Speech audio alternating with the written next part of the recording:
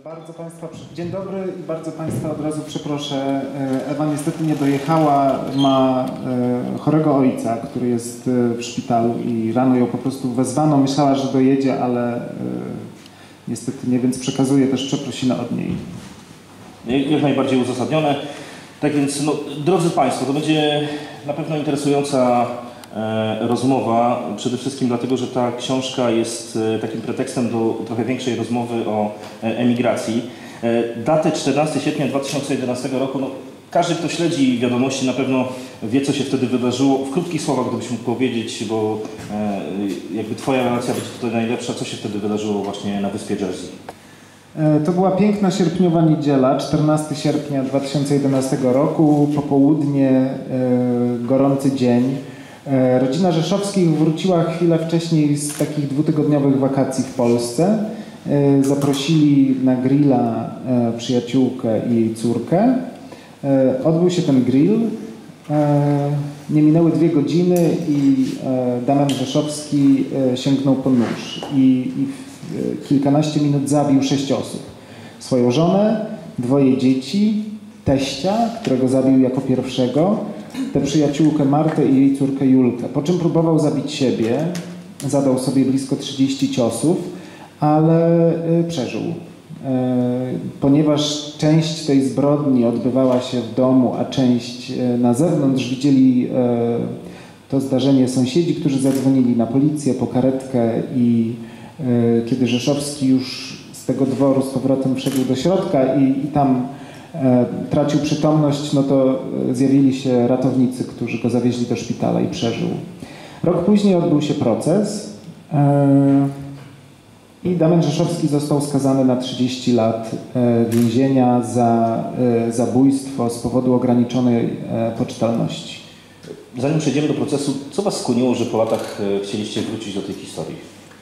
E, ponieważ nie ma Ewy, ale mieliśmy kilka spotkań ostatnio autorskich e, w Polsce, to wiem jak odpowiedziałaby na to pytanie, więc może w nią się wcielę.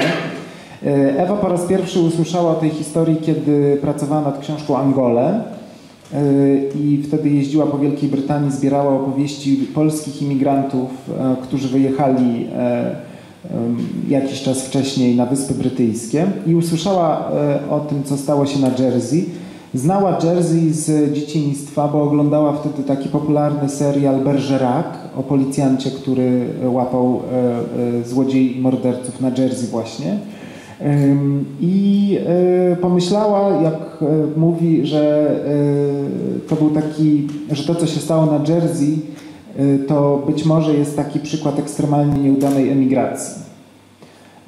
Ja, ja, ja w tym czasie byłem na prawdopodobnie, bo nawet nie pamiętam, gdzie, gdzie byłem wtedy, kiedy to się wydarzyło, e, ale byłem na, e, możliwe, że byłem wtedy na wyspie Man, e, bo kilka lat wcześniej mieszkałem na stałe na tej wyspie, a później wielokrotnie wracałem. To jest wyspa leżąca na północ od Jersey, między Liverpoolem a Dublinem i ona jest do Jersey podobna. Obie mają status dependencji korony brytyjskiej i są rajami podatkowymi i są równie piękne, jeśli chodzi o krajobraz. E, I kiedy Ewa wydała swoją książkę, ja wydałem moją, poprosiłem Ewę, żeby napisała blurba na tę moją książkę. Ona się zgodziła, tak się poznaliśmy. I ona w 2014 po raz pierwszy pojechała na Jersey, e, bo chciała ten właśnie ekstremal, przypadek ekstremalnie nieudanej emigracji sprawdzić. I, I kilka miesięcy później zaproponowała mi współpracę. Więc mieliśmy takie przekonanie, że, e, że, że, właśnie będziemy pisać książkę o emigracji, ponieważ wcześniej się zajmowaliśmy. Ja też opisywałem polską emigrację na wyspie e, Man e, po 10 latach od wyjazdu z Polski. Wiedzieliśmy, że tutaj ta perspektywa będzie trochę dłuższa, bo Polacy na Jersey mieszkają dłużej. Zaczęli wyjeżdżać z Polski już pod koniec lat 90. A ta historia, była, ta historia zbrodni była dla nas tylko punktem wyjścia. E, I kiedy, kiedy jeździliśmy na Jersey, kiedy zbieraliśmy materiały, to tylko umacnialiśmy się w przekonaniu właśnie, że, że, że od tej historii tytułow, tytułowych głosów i tego, co zrobił Damian Rzeszowski, e, być może ważniejsze będą te historie poboczne, które się pojawią. Jakbyś mógł zdradzić troszeczkę kuchni dziennikarskiej, z dziennikarskiego punktu widzenia, jak to wyglądało, bo to jest ogrom pracy. Sami w książce napisaliście, że mieliście do analizy prawie 70 godzin nagrań surowych z sądu. Jak się dzieliliście tą pracą i tutaj czy były jakieś trudności w pozyskiwaniu informacji?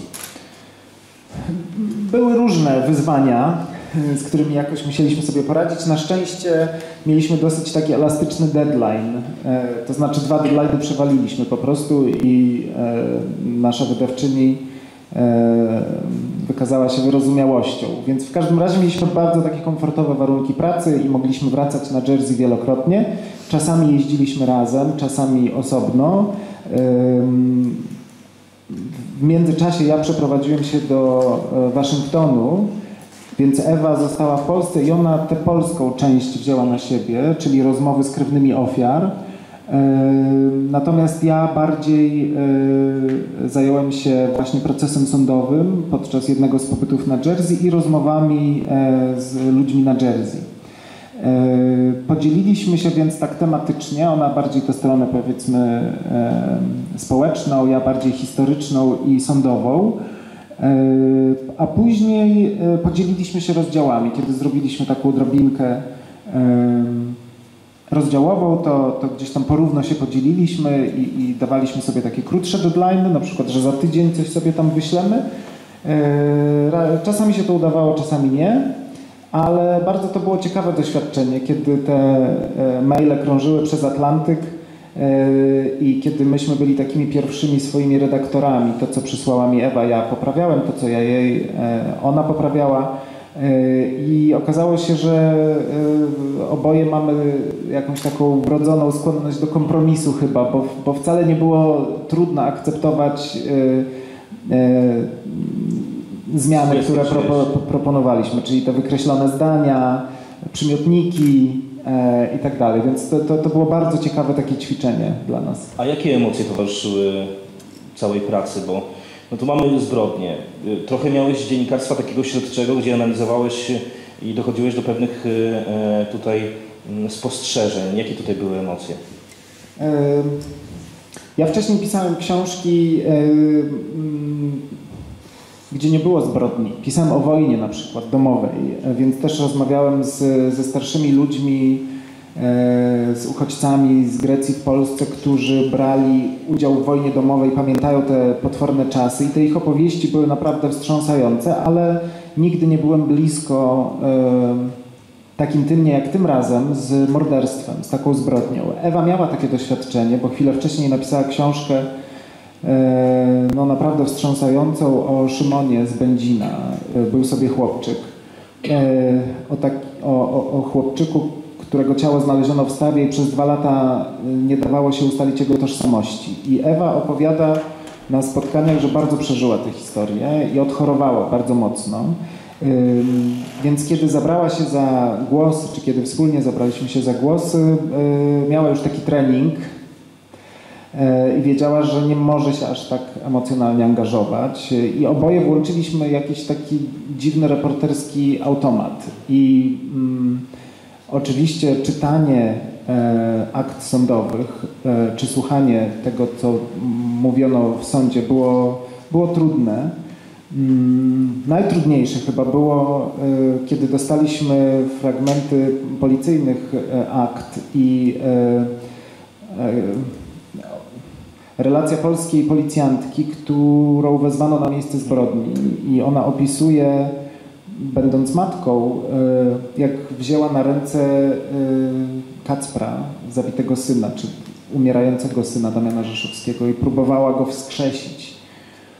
E, I jej opowieść o tym, jak ona zareagowała, była naprawdę no, trudna nawet w samej lekturze. Ale udało nam się, myślę, faktycznie jakoś włączyć jakiś taki reporterski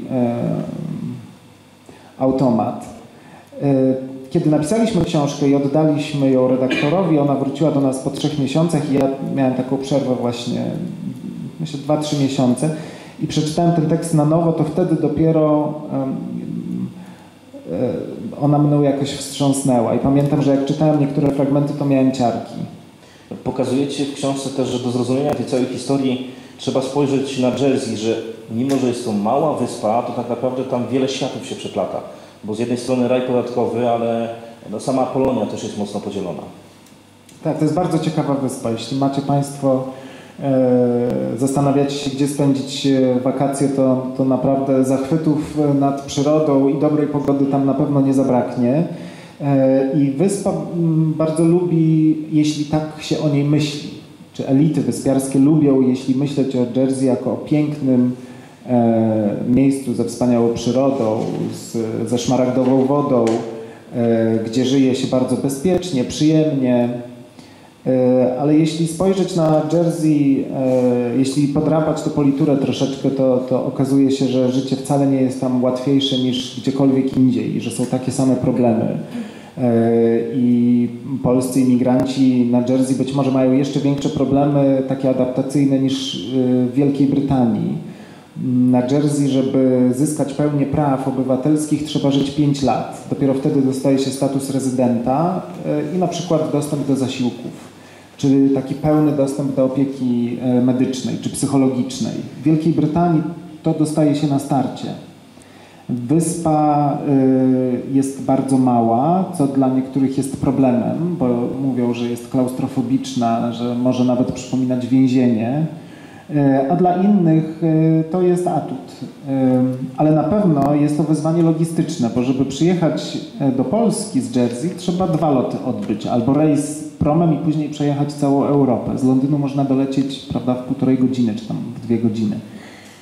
I jest to dużo droższe jeszcze z Jersey, więc faktycznie tych wyzwań dla emigrantów na Jersey jest dużo. Jest to raj podatkowy, gdzie bogacze z całego świata przyjeżdżają i naprawdę czerwone dywany się przed nimi rozwijają i mogą w 5 minut kupić dom, podczas gdy niebogacze na prawo do kupna domu muszą czekać 10 lat. Znaczy muszą mieszkać na Jersey 10 lat. Ale taki Roman Abramowicz mógł kupić, no właśnie, w pół dnia. Jest to wyspa, którą ta zbrodnia bardzo wstrząsnęła, bo nigdy wcześniej nic takiego się nie wydarzyło, czyli masowe morderstwo nie miało na Jersey miejsca. Ale yy, kilka lat wcześniej inny problem wyszedł na jaw, który także yy, zmienił na chwilę przynajmniej yy, image Jersey. Taka zbrodnia potworna pedofilska. Okazuje się, że przez 50 lat a w zasadzie od końca okupacji hitlerowskiej dzieci w lokalnych sierocińcach były wykorzystywane seksualnie, maltretowane i nikt na to nie reagował i w 2008 roku dopiero ruszyło śledztwo w tej sprawie.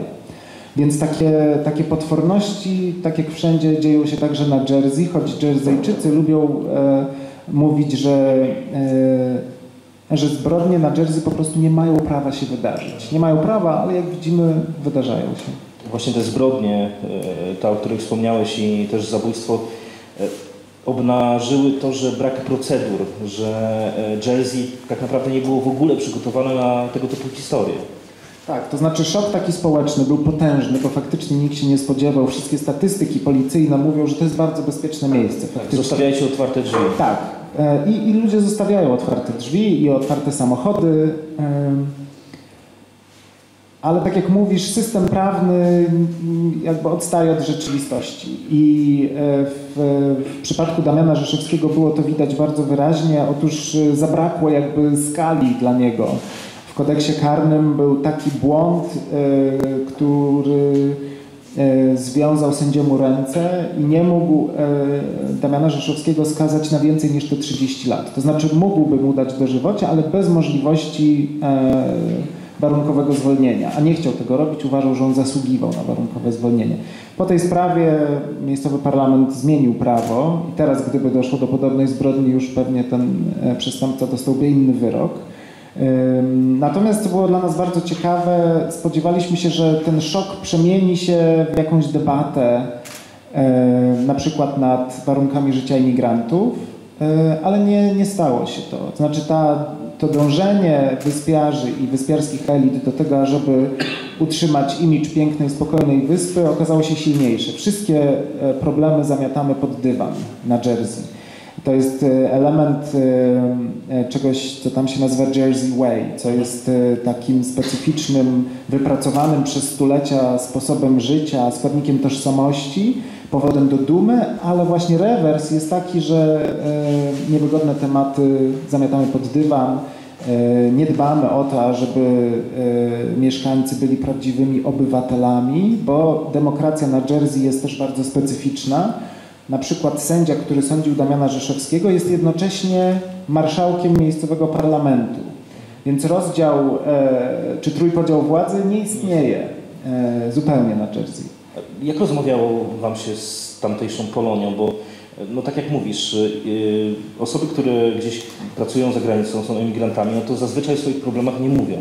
Raczej mówi się, że jest pięknie, jest cudownie, nikt nie przyzna się, że jest samotny, że, że, ma, że ma problemy. Ta książka moim zdaniem jest takim pretekstem do, do tego, żeby te problemy wychodziły z ludzi. Nawet za chwilę przytoczę e, świeże komentarze, którym gdzieś tam wyczytałem w internecie pod tą książką. Ale jak ta Polonia Was tam traktowała? Czy chętnie rozmawiali, czy jednak no, ciężko było wydobyć jakieś informacje? Myślę, że i moje jewe doświadczenie mm, z pracy przy poprzednich książkach jest takie, że kiedy się spotyka z człowiekiem w kawiarni czy gdzieś na ławce nad morzem, bo taki mieliśmy fajny setup na Jersey, to te rozmowy są szczere e, i ludzie bardzo chętnie opowiadają, e, bo to ich doświadczenie emigracyjne jest tak ciężkie i tak zmienia ich całe życie, e, że oni o niczym innym praktycznie nie myślą. To jest znaczy prze, przeżywanie emigracji jest ich podstawowym, najsilniejszym doświadczeniem i oni bardzo chętnie o tym rozmawiają. Może my nie jesteśmy najlepszymi adresatami takich rozmów, czy, czy właśnie rozmówcami, bo fajniejszy byłby psycholog może czasami, albo przyjaciel, albo krewny, no ale dostawali nas i faktycznie te rozmowy z Polakami na Jersey były bardzo ciekawe, bo, bo oni byli otwarci, wszyscy mają wspomnienie E, tego, co się zdarzyło 14 sierpnia, bardzo takie e, mocne. Dokładnie pamiętają, co robili, ale prawie wszyscy też znali Damiana Rzeszowskiego albo Izę Rzeszowską, bo ta wyspa jest tak mała i ta społeczność polska jest tak mała. E, więc albo ich znali, bo ich dzieci chodziły do szkoły z ich starszą córką, albo znali ich ze sklepów, ze wspólnej pracy, z gry w piłkę. Na spotkanie w Gdyni przyszedł kilka dni temu chłopak, który grał z Damianem Rzeszowskim w piłkę i do dziś też ma problem, żeby zrozumieć, dlaczego on zrobił to, co zrobił. Mówi, super świetny chłopak był z Damiana. E, więc te, te, rozmowy faktycznie były bardzo ciekawe, ale też trudne. E, jedna z naszych bohaterek mieszka na Jersey już 13 lat i opowiadała o tej presji, którą wspomniałeś. Presji ze strony krewnych i przyjaciół z Polski, że y, jeśli wyjeżdżasz, musi ci się udać. To musi być historia sukcesu, bo musisz słyszymy, dobrze zarabiać. Musisz dobrze zarabiać, musi być cię stać na wszystko, na częste przyjazdy do Polski, na wakacje zagraniczne. E, I ci ludzie często kreują taką opowieść. Ewa, y, gdy pracowała nad Angolami, rozmawiała z Polakami w Londynie, którzy są bezdomni i przez pierwszy rok swojej bezdomności dzwonili do Polski i mówili, że jest wszystko w porządku. Nasza bohaterka y, z Jersey jest no już taka mm, no dosyć sfrustrowana, kiedy słyszy od polskich znajomych, że no ty to masz świetne życie, bo możesz za tygodniówkę kupić sobie pralkę, albo możesz wyjechać sobie na Majorkę na wakacje. A ona mówi, owszem, stać mnie na to, ale przez pięć lat szorowałam kible, że zanim dostałam e, status rezydentki. E, mam dyplom Jagielonki, a na Jersey Iza usłyszała, że lepiej gdyby miała być może dyplom miejscowego gimnazjum, wtedy łatwiej dostałaby pracę.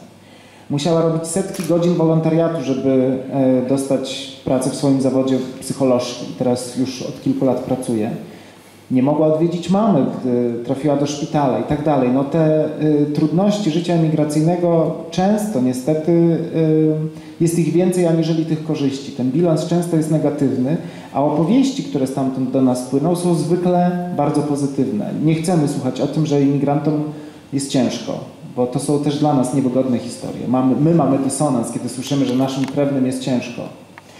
Też jeden z Waszych rozmówców wspomniał, że jest mu łatwo wyjechać, bo są e, nowe technologie i na przykład możemy sobie przez media społecznościowe raz połączyć się i mamy całą rodzinę, ale to jest e, strasznie złudne, prawda?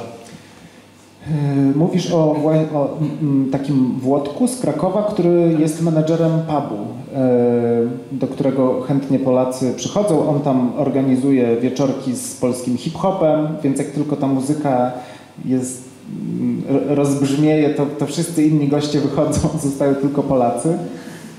Można tam zjeść schabowego, polskie, polskie danie. Fajnie, bo to jest jakieś miejsce takiej no nie powiem integracji, bo właśnie integracja nie następuje, ale takie miejsce, gdzie, gdzie można sobie swobodnie przynajmniej po polsku porozmawiać.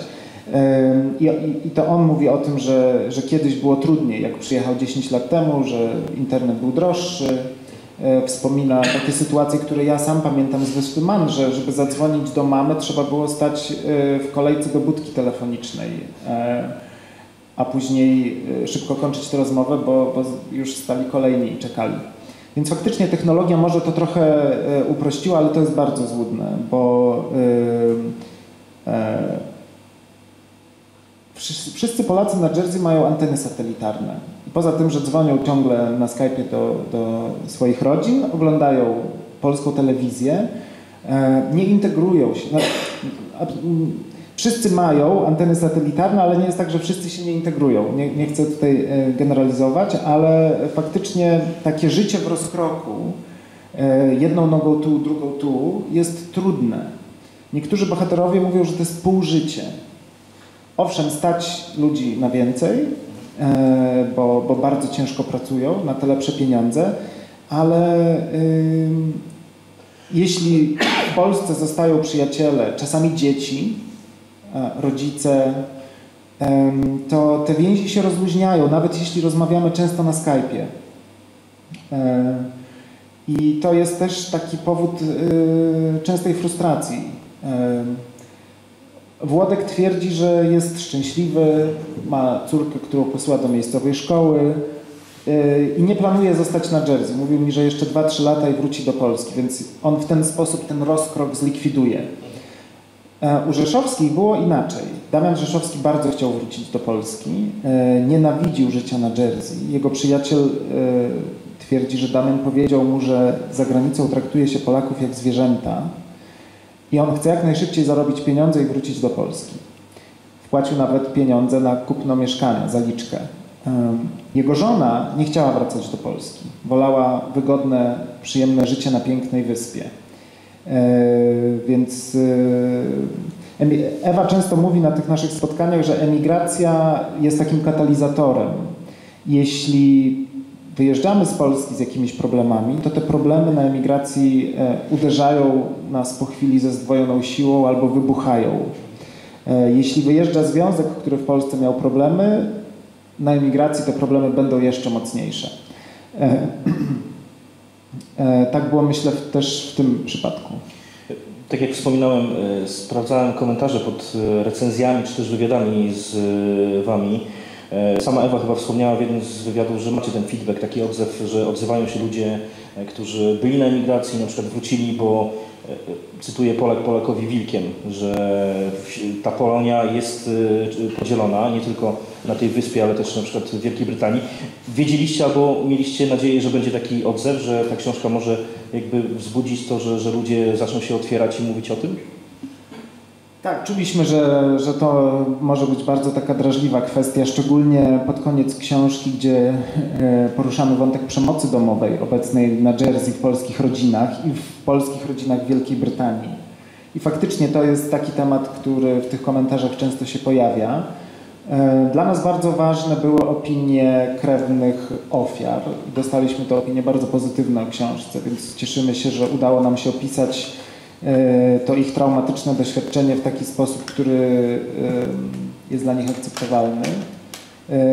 Tymi komentarzami nieszczególnie się przejmujemy, szczerze mówiąc, chociaż, one, chociaż taki hejt przez chwilę był dość mocny po pierwszym wywiadzie, ale Mm, dostajemy też maile e, czy wiadomości na Facebooku od ludzi, którzy żyją e, na emigracji poza Jersey, poza Wielką Brytanią.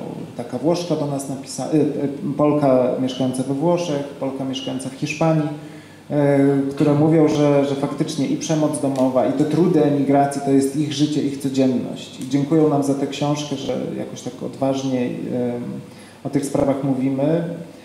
ten, ten negatywny feedback też jest e, dla nas takim dowodem, że, że kurczę, na coś prawdziwego natrafiliśmy.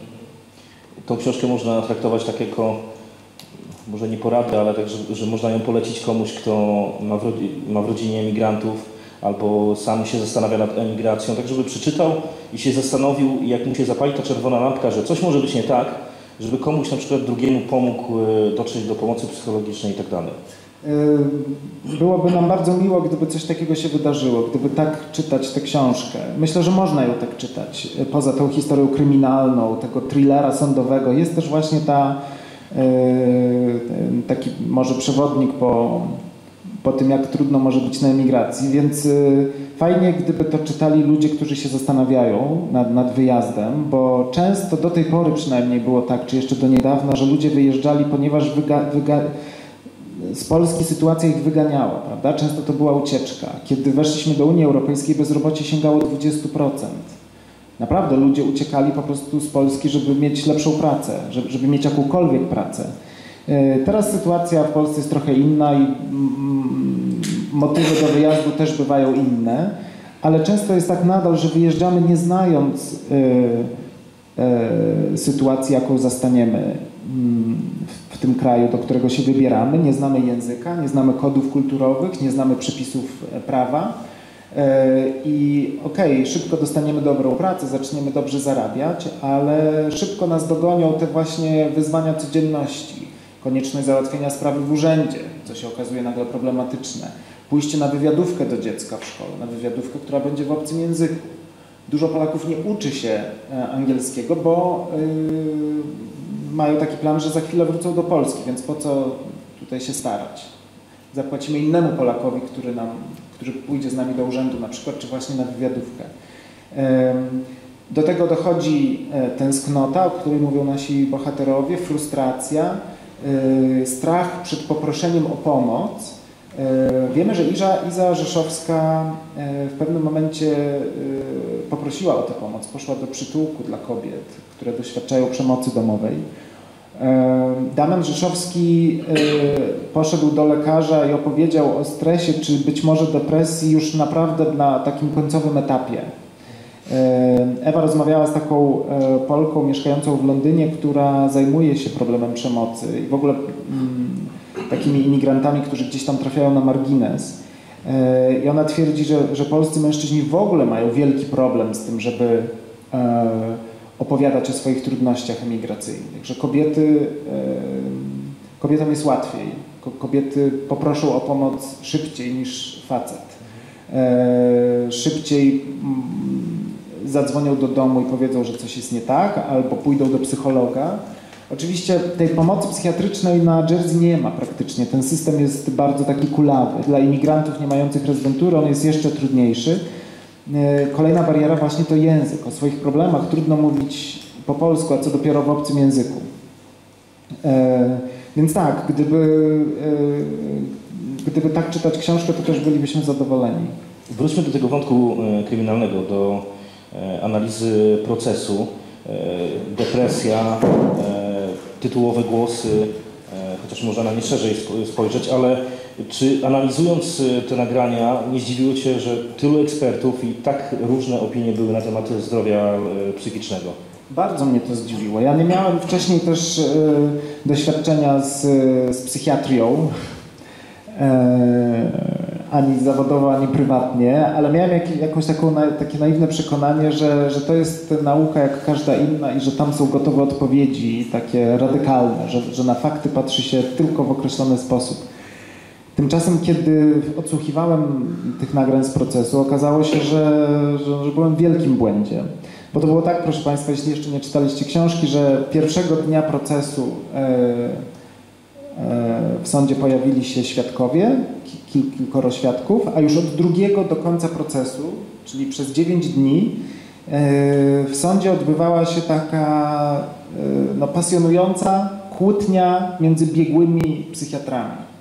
E, Psychiatra, który był powołany przez prokuratora, dowodził, że Rzeszowski nie miał depresji i nie mógł słyszeć głosów. Psychiatrzy, których poprosił o pomoc adwokat Rzeszowskiego, twierdzili coś zupełnie przeciwnego. Patrzyliśmy na te same fakty i my to przywołujemy w książce. Momentami może to być nawet nużące, bo, bo to jest duża część tej książki, kiedy patrzymy na te kiedy patrzymy na, dan, na dany fakt z tej samej perspektywy i przez chwilę nam się wydaje, wow, ten psychiatra ma rację, tak, to tak, to tak na ludzki, na, na, na chłopski rozum to tak wygląda. A potem sami jesteśmy skołowani. A potem za chwilę inny psychiatra mówi coś zupełnie innego, prezentuje inną opinię. No i naj, naj, nasze tam e, zdziwienie to tam pal 6, prawda? Ale wyrok e, musieli, znaczy e, decyzję o jego poczytalności czy niepoczytalności podejmowali juraci, czyli tacy ławnicy. Ludzie, którzy nie mają żadnego sądowego e, doświadczenia ani wykształcenia, żadnego psychiatrycznego e, doświadczenia. Oni musieli dać wiarę po prostu jednemu z tych psychiatrów. I dali koniec końców. Czy ja, gdybym był takim juratem, ławnikiem, zdecydowałbym tam tak samo? Pewnie nie. E, I z Ewą też wiele godzin przegadaliśmy na temat, znaczy próbowaliśmy wspólnie jakoś interpretować mm, to, co się w tym sądzie wydarzyło, jak, jakby która wersja jest dla nas bardziej przekonująca i co ciekawe, w czasie się to zmieniało. Czasami wydawało nam się, nie, on nie mógł słyszeć tych głosów, a po tygodniu na przykład, że kto, ktoś zwrócił nam uwagę na, na, na, jakiś inny aspekt tej sprawy i wtedy mówiliśmy, aha, faktycznie, no może miał tak silną depresję, że słyszał. E, więc e, właśnie ta sprawa też spowodowała, czy ten wątek spowodował, że e, bardzo szybko przestaliśmy próbować odpowiedzieć sobie na pytanie, dlaczego Damian Rzeszowski zabił. I tej odpowiedzi w książce nie ma. Zamiast tego prezentujemy możliwie dużo perspektyw, czy też ścieżek dojścia do jakiejś prawdy. E, nie przesądzamy, który z powodów jest ważniejszy, czy która ze ścieżek jest e, e, ważniejsza. Czasami czytelnicy mają to pretensje. W Poznaniu Rozmawialiśmy tak jak teraz o tej emigracji, e, a pani z ostatniego rzędu nagle przerwała i mówi: Słuchajcie, ale ja przeczytałem już tę książkę, ja chcę wiedzieć, dlaczego on zabił, ja chcę, żebyście wy mi powiedzieli, bo w książce nie napisaliście. Na potrzeby tej książki rozmawialiśmy też z polskimi ekspertami oni też nam tłumaczyli, e, z polskimi psychiatrami, oni też nam tłumaczyli, że, że w tego typu e, przestępstwach, najcięższych zbrodniach, praktycznie nigdy nie ma jednego powodu. Nie jest tak jak w kryminałach, że e, zazdrość, czy nie wiem, spadek, e, czy coś takiego. Nie jest to zero-jedynkowe. Absolutnie, że, że i tak jak tutaj mamy przekonanie, że, że po prostu tych powodów było, e, było sporo i że one tego feralnego dnia zbiegły się po prostu w, w jakimś jednym punkcie. Ale też wasze rozmowy z bieglimi wskazują, wskazują że no troszeczkę poszliście krok dalej i wskazujecie jakby no, pewne dajecie sugestie, które mogły być zbadane przed sądem, a nie były.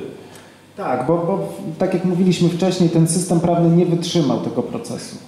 E, sam fakt, że e, brakowało tej kary w kodeksie karnym, to jedna rzecz, ale e, bardzo byliśmy zdziwieni tym, jak ten proces się potoczył i tym, co się działo z Rzeszowskim tuż po zbrodni. Gdyby on był sądzony w Polsce, gdyby do tego doszło w Polsce, to y, obserwacja psychiatryczna trwałaby 4 tygodnie. On był obserwowany 9 miesięcy.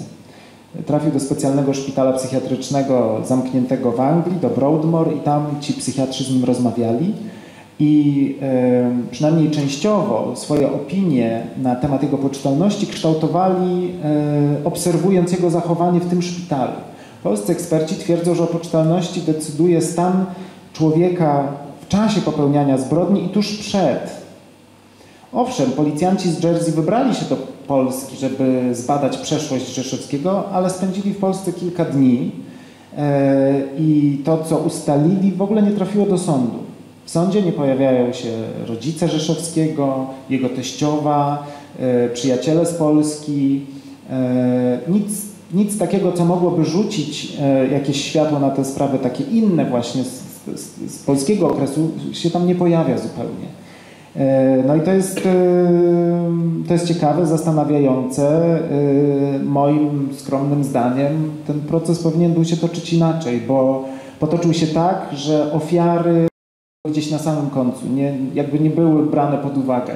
Rzeszowski stał przez tych 10 dni, niewzruszony, jego twarz niczego nie wyrażała. E, postanowił odmówić składania zeznań, więc nie słyszymy go, słyszymy go tylko raz, kiedy mówi że jest niewinny morderstwa, ale zgadza się, że jest winny zabójstwa. A później to już jest tylko, to są mm, werbalne przepychanki psychiatrów, prokuratora i e, adwokata. Też mam wrażenie, że e, w pewien sposób podkreśliliście niesprawiedliwość tego wyroku, pokazując do jakiego więzienia trafił, y, na co może tam liczyć. E, chyba, jeżeli dobrze pamiętam, były zacytowane komentarze, które się pojawiły też w mediach społecznościowych od razu po tym wyroku. No to wszystkie były po prostu no, nikt nie mógł uwierzyć, że taki wyrok mógł po prostu zapaść za taką zbrodnię. To znaczy myśmy opisywali te warunki w więzieniu nie po to, żeby pokazać, jak jemu może być tam dobrze, że te warunki są takie szklarniowe, e, bo ja osobiście uważam, że już samo ograniczenie wolności jest wystarczającą karą i czy ono się odbywa w przepełnionych więzieniach, takich jak w Polsce, czy w może trochę lepszych warunkach, to już mnie zupełnie nie obchodzi. Samo pozbawienie wolności jest dla mnie e, no, największą karą. E, ale pisaliśmy o tym, e, znaczy tak, bo, bo, też wiemy, że ludzie, że przestępcy tacy jak rzeszowscy w najpilniej strzeżonych więzieniach mordercy i dzieciobójcy są na samym dole. Są na samym dole drabiny. I wiemy, że on był na samym dole tej drabiny. Podobnie jak inny Polak, który w tym samym czasie przebywał w więzieniu, E, taka głośna sprawa, może Państwo pamiętacie, Damian Pełka, e, mały chłopczyk, którego matka i ojczym e, zagłodzili na śmierć. I on w tym samym czasie był w więzieniu Full Saton, wtedy kiedy był tam Rzeszowski i popełnił samobójstwo. Znaczy nie, przepraszam, on zmarł, bo nie chciał się leczyć. Miał problemy z sercem, nie chciał się leczyć i po prostu jednej nocy zmarł. Nie chciał się leczyć, dlatego że bał się, że na szpitalnym oddziale e, w więzieniu e, inni przestępcy go dopadną i zabiją, dlatego że jego twarz była e, cały czas w telewizorze i w, i w gazetach. Chcieliście się spotkać z Rzeszowskim? Chcieliśmy, chcieliśmy z nim porozmawiać. Myśleliśmy, że to będzie ważna rozmowa, że ponieważ odmówił rozmowy wcześniej z policjantami i także składania zeznań w czasie procesu, że być może z nami będzie chciał rozmawiać, bo już minęło tyle czasu, bo może mu się nudzi e, i przedstawi swoją wersję wydarzeń, bo tej wersji nigdy nie poznaliśmy. Czy wersję, czy, czy, czy opowie o motywach. Właśnie dla mnie y, bardzo interesująca jest ta kuchnia znowu dziennikarska, czyli gdybyś stanął przed nim, o co byś go pytał? Nie wiem, jest mi bardzo ciężko to sobie wyobrazić. Nigdy nie rozmawiałem z e, mordercą. To znaczy, myślę, że chcielibyśmy z, Ewą, że, że dalibyśmy mu mówić, że, że e, może bylibyśmy też takim przekaźnikiem, bo e, on nigdy nie przeprosił swojej teściowej. Do innych ludzi napisał listy takie przepraszające, do niej nigdy nie napisał, nigdy nie powiedział dlaczego E, dlaczego chwycił za nóż. Być może on miał jakiś w jego przekonaniu taki wystarczający powód, więc być może o to byśmy go zapytali, e, ale odmówił spotkania i odmówił korespondencji. Po tym wydarzeniu z 2011 roku wyspa Jersey na to już nie będzie taka sama? Czy tam Polacy są trochę inaczej teraz traktowani? Wyspa sobie poradziła z tym szokiem, w jakim się znalazła. Myślę sprawnie, dobrze, ale też właśnie w taki sposób trochę zamiatając y, ten problem pod dywan. Bo do Rzeszowskiego przy, przykleiła się łatka po prostu wariata, szaleńca. Początkowo w kilka dni i tygodni po, tym, po tej zbrodni Mm, pojawiały się takie e, negatywne opinie o Polakach, e, czyli tak roz, e, wyspiarze rozkładali winę, znaczy obejmowali nią wszystkich polskich imigrantów, ale tego było bardzo mało. Lokalne media dbały o to, żeby nie łączyć tej zbrodni z całą polską społecznością, tylko z człowiekiem. I dzisiaj, gdy rozmawiamy z wyspiarzami, oni mówią, no tak, wariat, no oszalał, coś mu się tam poprzestawiało, choroba psychiczna w ten sposób sobie poradzili. I nie mam wrażenia, żeby przez pryzmat Rzeszowskiego oceniali e, dziś Polaków, aczkolwiek tę historię wszyscy pamiętają. Ona wielu ludziom kojarzy się tylko z... Znaczy Jersey przez Rzeszowskiego kojarzy się tylko z tą zbrodnią. E, jedna pani do nas mieszkająca na Jersey napisała kilka dni temu dosłownie, że, że doszło do zabójstwa, zginęła Węgierka, która miała na imię Suzana czy Zuzana. I koleżanki w pracy ją pytały, że to chyba polskie imię, a pamiętasz tego Rzeszowskiego? No minęło tyle lat, prawda? A ludzie nadal to pamiętają. Jest też w tej naszej książce taka opowieść o tym, jak burmistrz stolicy wyspy chciał postawić ogród pamięci ofiar. I nie udało mu się to. Wyspiarze nie zgodzili się, żeby wydawać publiczne pieniądze na upamiętnienie ofiar. No mają do tego oczywiście prawo, ale to jest. On, on, on burmistrz nie jest w stanie tego zrozumieć, twierdzi, że, że ofiarom, że o przestępcy mówić jak najmniej, ale o ofiarach powinniśmy pamiętać. Dom stoi pusty cały czas. Dom stoi pusty, jest to takie mieszkanie na parterze w takim e, szeregowcu, e, na bardzo pięknej, cichej ulicy. E, z przodu jest park, z tyłu ludzie mieszkający na parterze mają ogrody, takie niewielkie ogrody. E, I faktycznie do dzisiaj to mieszkanie stoi puste. Nikt się tam od 2011 roku nie wprowadził. Książkę jak najbardziej warto przeczytać, ale też warto posłuchać, bo tutaj y, przecieram, przecieracie szlak, można by tak powiedzieć. Jakbyś mógł więcej, więcej powiedzieć właśnie o tym audio serialu, mamy tutaj właśnie grafikę do tego. Tak. Y to było tak, że ja od dwóch lat mniej więcej słucham bardzo namiętnie amerykańskich podcastów różnych E, I kiedy mm, wysłuchałem pierwszego, to był taki bardzo popularny, nazywał się, nazywa się S-Town, e, to po prostu doznałem jakiegoś olśnienia. Nie sądziłem wcześniej, że, że można historię opowiadać w taki sposób, bo to nie jest reportaż audio, reportaż radiowy, to jest inna jeszcze forma, bardziej taka pojemna.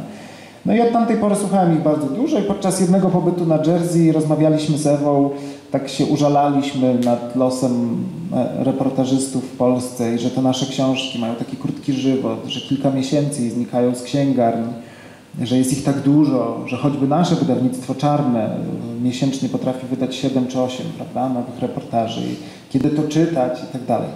No i nagle wpadłem na pomysł, że może byśmy opowiedzieli tę historię też e, za pomocą innej formy. E, Ewie ten pomysł bardzo się spodobał e, i wysłaliśmy tekst książki do audioteki, bo wiedzieliśmy, że audioteka zajmuje się audiobookami, ale też myśli o wprowadzeniu podcastów. Im to się bardzo spodobało, podpisaliśmy umowę, napisaliśmy scenariusz, 11 odcinków, a później weszliśmy do studia. E, ja mam doświadczenie radiowe, przez wiele lat pracowałem w Radiu Tok FM. Ewa nie ma zupełnie doświadczenia, jeśli chodzi o pracę z głosem, więc musieliśmy się e, docierać. Ona się obawiała, że być może to będzie Duża dla niej trudne. Tak, ale okazało się, że nie, że świetnie sobie z tym poradziła. E, mieliśmy dźwięki, które przywieźliśmy z wyspy, bo nagrywaliśmy przecież ludzi na potrzeby książki. Nie, nie, nie, zawsze mieliśmy nagranie, bo na przykład właśnie e, ten proces sądowy odsłuchiwaliśmy i spisywaliśmy, e, więc e, w tym podcaście naszym prawnik, sędzia, psychiatrzy mówią głosami polskich aktorów. No i do tego Audioteka stworzyła świetną muzykę i, i, i powstało coś, z czego jesteśmy bardzo dumni, bo faktycznie w Polsce wcześniej nie było podobnej rzeczy przecieramy szlaki. Y, no i bardzo polecam tę formę, bo y, ona się świetnie sprawdza. Ja słucham głównie podcastów, gdy biegam albo gdy jestem w podróży. Y, I, I, to jest naprawdę zupełnie inne doświadczenie. Mieliśmy jeszcze taką obawę, że być może ten podcast zagryzie nam książkę, że, że tu będzie jakiś kanibalizm, ale okazuje się, że nie. Ludzie do nas się odzywają, mówiąc, że najpierw przeczytali, a później posłuchali albo na odwrót, bo też akcenty w tych dwóch opowieściach są rozłożone inaczej. W podcaście jest kilka y, informacji, których w książce nie ma. Y, o jednych sprawach mówimy więcej, o innych mniej. Y, inna dramaturgia. Myślę, że bardzo jest ciekawe to, że można usłyszeć głosy naszych bohaterów. Na przykład pokazujesz trochę kuchni swojej warsztat. Tak. I też opowiadamy o tym faktycznie, jak jak jeździliśmy na Jersey, gdzie mieszkaliśmy, jakie mieliśmy warunki, E, mówimy o tym, z czym nam było trudno, z czym łatwiej, czyli taka właśnie kuchnia, która do książki nie ma po co e, jej tam wkładać i, i zwykle nie ma dla niej miejsca. No i opowiadamy to naszymi głosami, bo my jesteśmy narratorami w tej historii. Patrząc już na książkę, która leży gotowa, e, co było najtrudniejsze w powstawaniu tego dzieła? Bo współpraca między Wami była, no tak jak mówisz, że dobra, dotarliście się. E, czy Myśmy się zaprzyjaźnili, co jest, co jest myślę taką, takim super bonusem. będzie współpraca? Będzie, tak. Mamy y, pomysł na kolejną książkę. W zasadzie już jesteśmy daleko w, w zbieraniu materiałów. Y, no nie wiem, czy były jakieś specjalne trudności, szczerze mówiąc. Mnie ta praca reporterska fascynuje, bardzo daje mi dużo radości. Myślę, że Zawał jest podobnie. E... Mnie zastanawia, czy na przykład przy spisywaniu e, e, transkrypcji, jak, jak tworzyłeś transkrypcję z zapisków z sądu, czy nie było tutaj problemu z trudnościami na przykład e, jeżeli chodzi o słownictwo?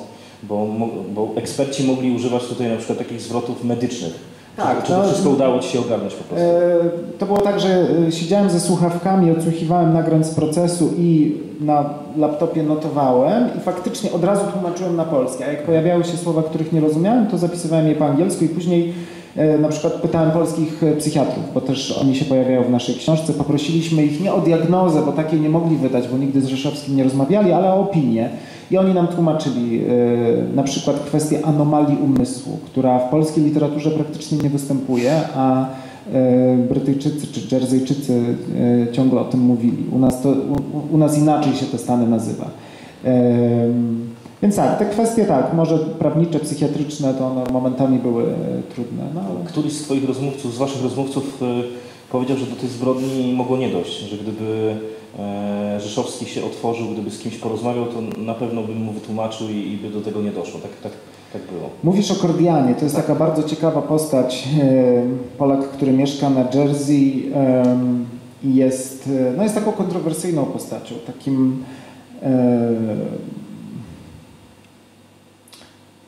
trochę domorosłym psychologiem oferuje ludziom terapię różnego rodzaju przez masaż, przez medytację, przez. E, on studiuje kronikę Akaszy i twierdzi, że, że przez wszystkie swoje inkarnacje nauczył się świetnie pomagać ludziom. E, I wiemy, że zgłosiła się do niego Iza Rzeszowska, która nie potrafiła skorzystać, czy nie mogła skorzystać z takich klasycznych ścieżek właśnie psychologicznej na przykład. E, I on twierdzi, że bardzo jej pomógł i co, wiem, że to jest nieprawda. E, I twierdzi, że gdyby Damian do niego przyszedł, on pomógłby mu tę negatywną energię jakoś inaczej e, wyzwolić. No to taki szarlatan trochę. Ciekawa bardzo postać, ale ale to też jest tak, taka klasyka, że jeśli nie mamy dostępu czy odwagi, żeby skorzystać z tradycyjnych ścieżek, to prawda, uciekamy się do, do alternatywnych. On twierdzi, że nawet próbował policji tłumaczyć, usprawiedliwiać Damiana, że on nie powinien w ogóle iść do więzienia, bo no tak mu ta energia podskoczyła. Gdyby im podskoczyła, też by zabijali. E, on tak twierdzi. No i e, e, on jak i wielu Polaków na Jersey, co było dla nas bardzo ciekawe, uważa Damiana za ofiarę. E, my chyba zawoł jakoś nie, nie znajdujemy sobie w sobie zrozumienia dla takiego podejścia, ale faktycznie on u wielu Polaków na Jersey funkcjonuje jako, jako ofiara. Takie nietypowe pytanie mam. Jesteś dziennikarzem, pisarzem, ale gdybyś na chwilę miał wejść w rolę psychologa i przychodzi do Ciebie na przykład emigrant albo osoba, która chce wyjechać e, z własnych spostrzeżeń, jakie miałbyś rady osoba po przeczytaniu tej książki no, ma jakieś, e, e, no boi się wyjazdu na przykład. Jakie byś miał rady dla tej osoby, gdyby zapytała, no jak tam po prostu na emigracji przeżyć? Znaczy ja mam tutaj doświadczenie, myślę, cenniejsze, czyli bycia emigrantem. Ja przez trzy lata mieszkałem na Wyspie Man i też z Polski yy, wygnała mnie trudna sytuacja finansowa i musiałem pojechać na Wyspę Man, żeby zarobić na studia, na, na drugą część studiów. E, myślałem, że wyjeżdżam na 3 miesiące, a zostałem, to też jest bardzo częsty taki scenariusz, a zostałem prawie 3 lata. E, I przeżywałem tam wspaniałe chwile, ale też trudne chwile. Generalnie to jest bardzo ważne dla mnie doświadczenie i takie pozytywne, ale nie bez problemów. Więc e, jeśli miałbym komuś polecić, no to e, żeby wyjeżdżał wczesną wiosną, bo jest fajnie przeżyć e, te trudności w, przy dobrej pogodzie, a mamy wtedy wiosnę i lato. Nie polecałbym wyjazdów zimą, ale tak na poważnie to, to bardzo bym polecał, żeby po prostu możliwie najlepiej poznać to miejsce, przeczytać to wszystko, co się da e, o, e, o historii, o, o, o zasadach życia społecznego, o, o prawie, być może poduczyć się języka, żeby nie jechać tak zupełnie na łyso. To prawo jest ważne, bo wielokrotnie no, osoby są wykorzystywane i na przykład pracodawca porzuca umowę, gdzie są drobne zapiski i potem się taka osoba dziwi, że na przykład nie może ubiegać się o e, czy to ubezpieczenie i tak dalej. Też w książce to wymieniacie. Dziwi się, a jednocześnie, ponieważ nie zna języka, nie upomni się, prawda? Nie, nie, nie, pójdzie do tego szefa i nie, nie wykłóci się o y, zmiany w umowie. My y, w tej książce opisujemy część Polonii na Jersey, która pracuje w ziemniakach.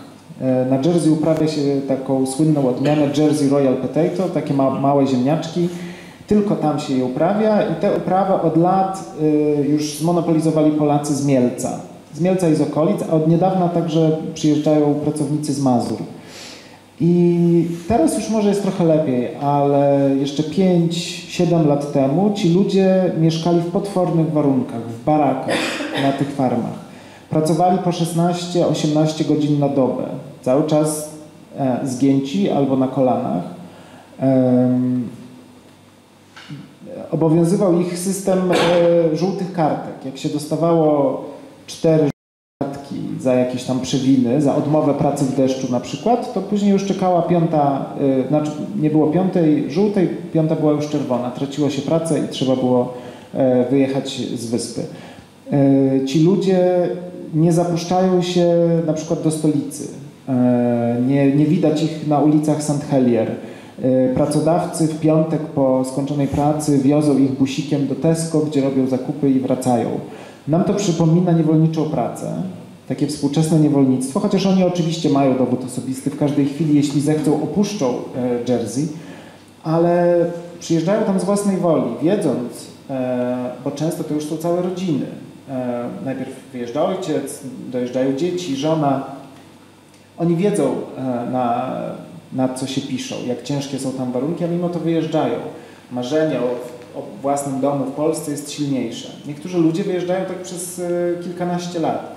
Na trzy miesiące na Jersey, miesiąc w Polsce, odpoczywają, e, później znowu na dwa miesiące na Jersey i tak dalej. Tak, oni są w ciągłym ruchu, bo jest jeszcze druga grupa takich, którzy na wyspie powoli zapuszczają korzenie i to są ludzie, którzy dzisiaj pracują w w sklepach, w restauracjach, w hotelach, ale też są informatykami, prawnikami, księgowymi e, mają inną strategię taką emigracyjną. Oni po prostu już mm, w większości chyba planują do Polski nie wracać, chociaż e, nadal są często na tym etapie rozkroku takiego, że właśnie mają te anteny satelitarne. Nie? I, yy... Czyli ta, jak w książce to określacie, Polska A się bardziej integruje z e, mieszkańcami Jersey, a ta grupa B, no to tylko spotykają się czy w Tesco, czy w barze, albo w pracy. Tak, tak. Spotykają się w barze u Włodka albo na polskim festiwalu, który odbywa się raz do roku, jeśli mają akurat pół dnia wolnego, bo pracuje się także w niedzielę w ziemniakach.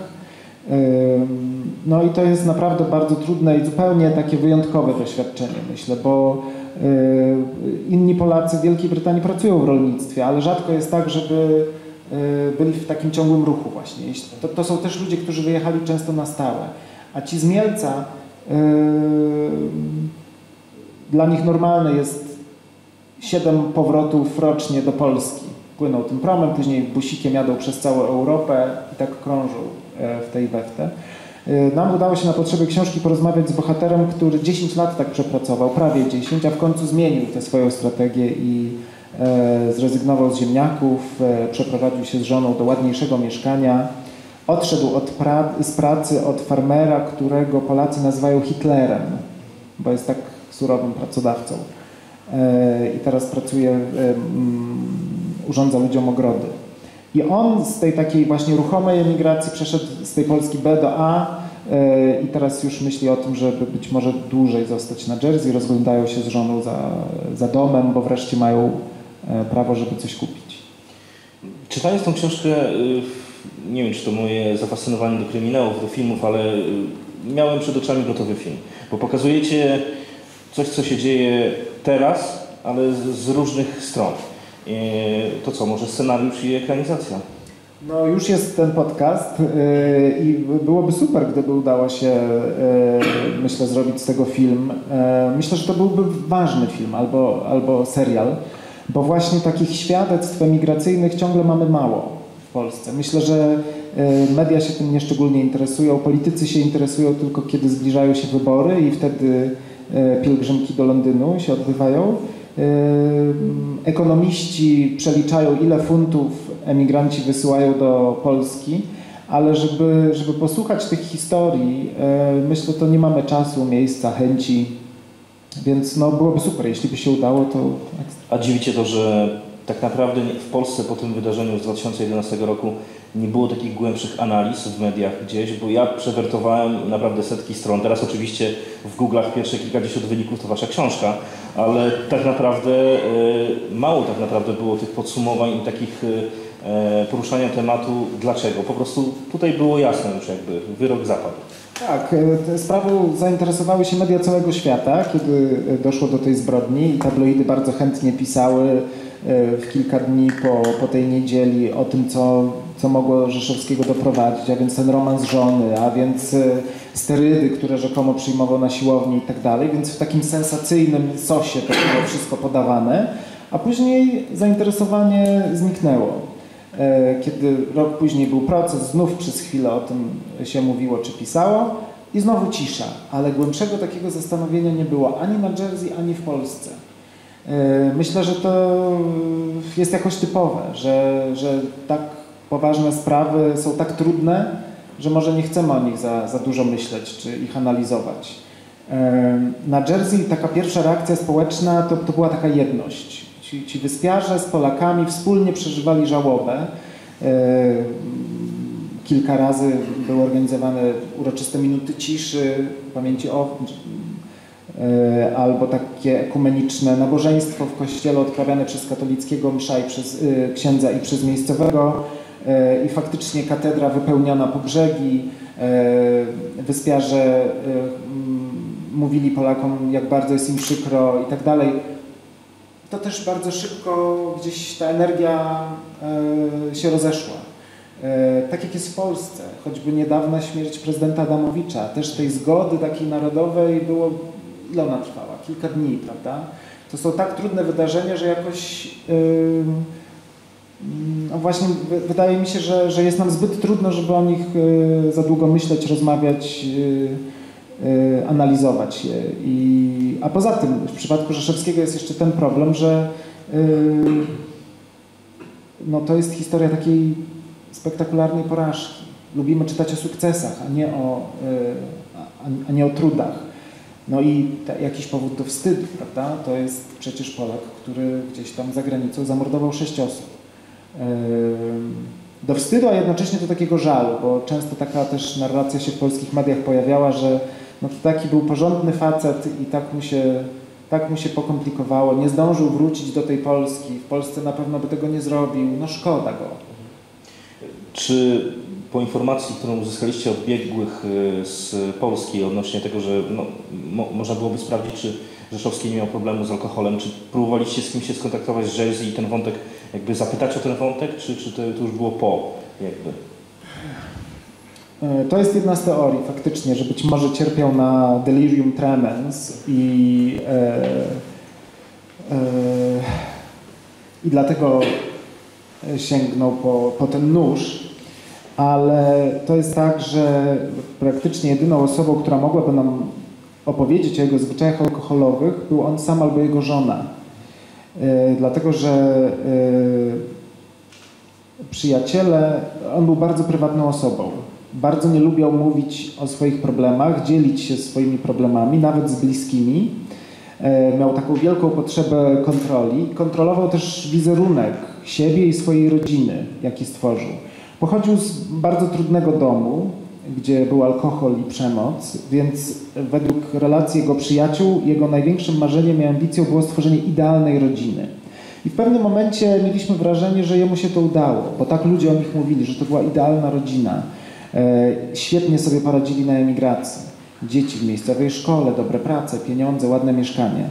E, ale to, co się działo w środku tego mieszkania na Victoria Crescent i w ich rodzinie, to, to, to już była inna historia. I, yy, I o wielu rzeczach Polacy na Jersey nie wiedzieli. Na przykład nie wiedzieli, że Iza szukała pomocy w tym przytułku dla kobiet, że dochodziło tam do przemocy domowej. Myśmy się tego dowiedzieli od dyrektorki ośrodka, ale też od krewnej Izy, która już na Jersey nie mieszka. Yy,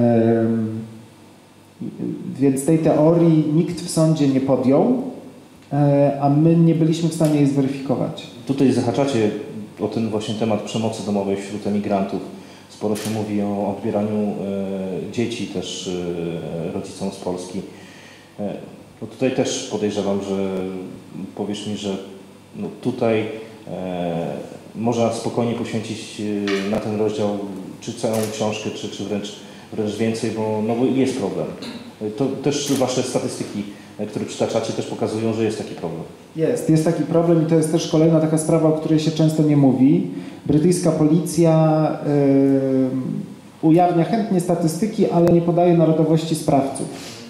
Yy, ale ta kobieta, z którą spotkała się Ewa w Londynie, która pomaga marginalizowanym imigrantom, twierdzi, że tej przemocy domowej w polskich imigranckich domach jest, jest naprawdę dużo. E, udało jej się dotrzeć do takich policyjnych danych, z których wynikało, że w 2018 roku, w pierwszej połowie tylko, w północnym Londynie cztery Polki zginęły z rąk swoich polskich mężów lub partnerów. To są historie, o których nie wiemy, które nie trafiają na czołówki gazet. Brytyjska policja o tym nie mówi, nie chce konfliktować tych społeczności w ogóle przemoc domowa na Wyspach Brytyjskich jest problemem. Na Jersey jest jeszcze większym problemem. Nie tylko w imigranckich domach, także w domach tych wyspiarskich bogaczy.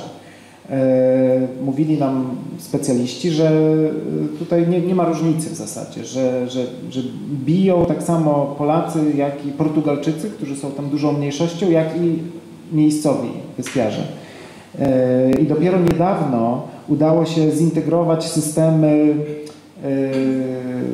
takiej opieki społecznej właśnie pod kątem przemocy domowej. Dopiero od niedawna yy, kobiety na Jersey mogą na przykład sprawdzić, czy ich partnerzy figurują w rejestrze yy,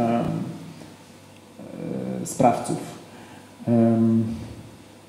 Te statystyki są naprawdę przerażające i były także dla nas. I faktycznie to jest na pewno opowieść na, na jakąś większą historię. Można się zastanawiać nad tym, co E, co, co popycha ludzi do takiego zachowania, czy to, że w ich kraju jest na to większe przyzwolenie, a w Polsce na pewno jest większe przyzwolenie na przemoc domową niż w Wielkiej Brytanii, czy być może te problemy, które już pojawiają się na emigracji, czyli e, ta nieumiejętność poradzenia sobie z trudną sytuacją inaczej. To teraz bym prosił o zapalenie światła, no i mam nadzieję na kilka ciekawych pytań z widowni. Ja myślę, że jeżeli nie chcemy tutaj zadawać do mikrofonu głosu, to po prostu podziękujemy serdecznie, zakończymy i tu można podchodzić na pewno i rozmawiać sobie już bardziej w takich kuluarach na temat e, nie tylko książki, ale też pracy reportażysty, bo e, sporo książek już jest na koncie. Wiem, że plany są do przodu już podjęte, tak więc dziękuję serdecznie za spotkanie. Dziękuję bardzo. I zachęcamy do przeczytania książki.